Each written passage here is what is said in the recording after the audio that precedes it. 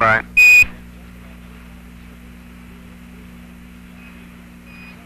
While you're looking that up, you might recognize what I have in my hand is the uh, handle for the contingency sample return. It just so happens to have a six iron on the bottom of it. In my left hand, I have a little white pellet that's Americans.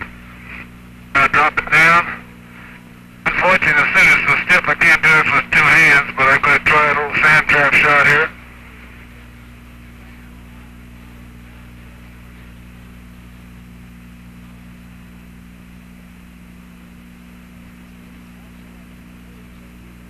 Got more dirt than ball this time.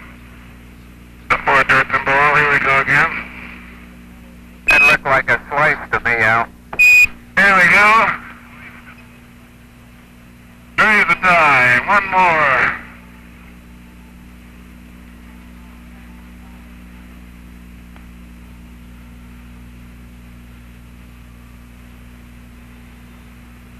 Miles and miles and miles.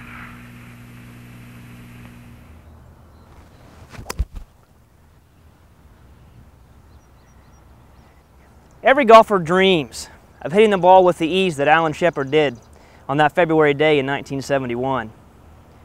See, he was on the moon, but had he been in empty space, that ball would have traveled on forever until another force acted upon it. Here on Earth, as on the moon, such a force exists. We call it gravity.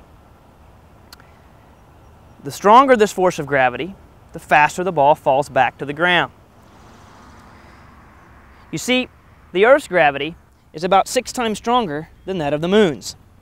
So, if Admiral Shepard would have hit that same drive on Earth,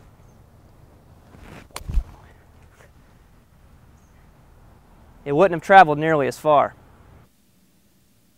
Hitting a golf ball is an example of a type of motion known as projectile motion, which is any motion of an object that is projected upward as a vertical projection straight out as a horizontal projection, or at some angle between the vertical and the horizontal. In the case of the latter two, one can actually calculate how far the ball will go before it hits the ground, so long as you can account for a few variables, which is what you're going to be doing in this laboratory exercise. Let us for a moment consider the setup shown in this picture. After rolling down the incline AB, the ball moves across a frictionless horizontal track, BC. It is not really frictionless, but we will pretend like it is in this lab in order to illustrate our point. At C, the ball leaves the track to become a projectile. The motion of a projectile is easier to understand if you split the complete motion into horizontal and vertical components, such as we did in this drawing. Once the ball leaves the track, the force of gravity accelerates the ball vertically downward. We have labeled this increasing downward velocity as Vy.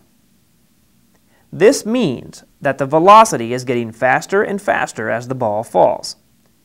What is interesting to note here is that although this ball is rolling off of the table in a path that takes it farther and farther away from the table, this increasing downward velocity is the same as that of a ball that was held in place and then dropped straight to the floor.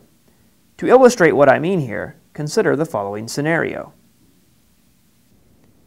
If a cannonball is shot off of this cliff, and at the same time an identical cannonball is dropped straight down from the exact same height, they would hit the water at the same time.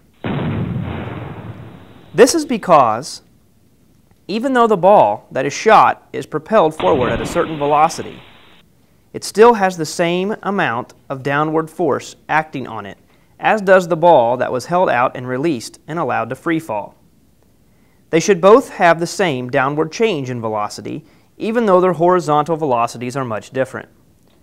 This difference in horizontal velocity is what determines how far the ball travels away from the cliff before it hits the bottom. Referring to our previous example with the ball rolling off the table, we have represented this horizontal velocity as Vx. When you imagine both of these forces, one acting downward and the other acting forward, acting on the ball simultaneously, you can see how the resulting path of the ball ends up being curved, at least until it hits the floor.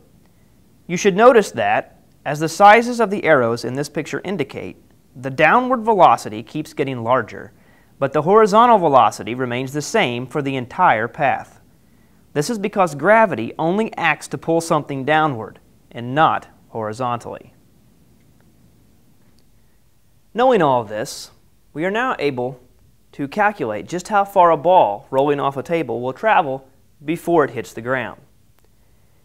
The first thing you will need to know is just how fast the ball is traveling before it leaves the table.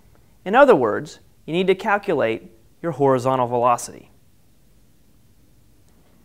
To do this, you will need to measure the horizontal distance in centimeters from the bottom of the ramp to the end of the table.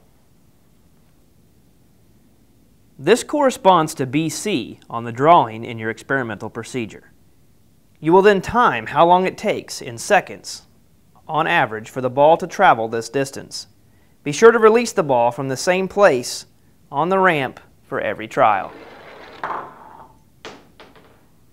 You will then take your time and distance data and solve for velocity, labeled as Vx, using the same equation you used in the previous lab. You will then need to know how far down, not out, the ball will fall. Or in other words, you will need to know the vertical distance of the path.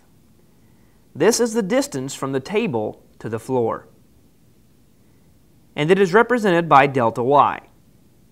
Now, knowing Vx and delta y, you can solve for delta x, which represents the distance of the path in the x-axis direction. In other words, it represents how far away from the table the ball traveled. To do so, use the equation shown. Remember that g represents the acceleration due to gravity on Earth. This is a mathematical constant that does not change from problem to problem, so be sure to look up this value in your book. Since you want to solve for delta x, you need to rearrange the equation.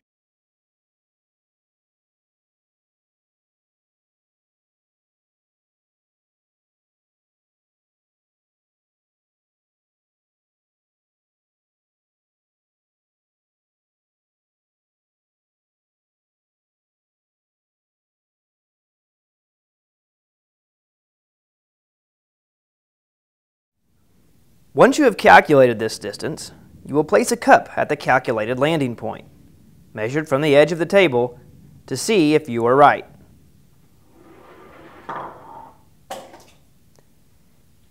If you are not, review your calculations for any errors. When finished, be sure to analyze and graph the data as the lab procedure indicates.